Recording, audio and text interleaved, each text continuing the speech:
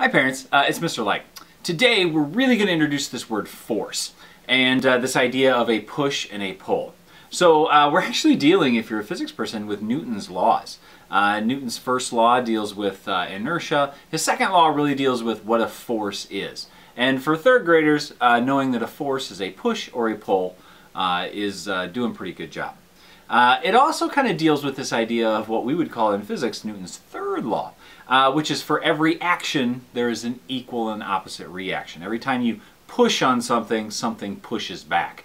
And you can feel that if you just push on your hand. The, the harder I push on my palm, the more I have to push back uh, on that.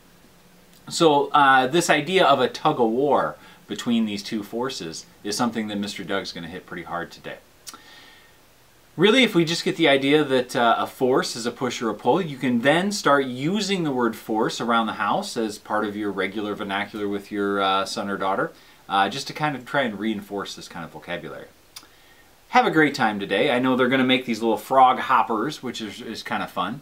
Um, so uh, enjoy it, have a good time, and uh, if you have any questions, please contact your teacher, or you can contact me at likescience2020 at gmail.com, and I'll see you next time.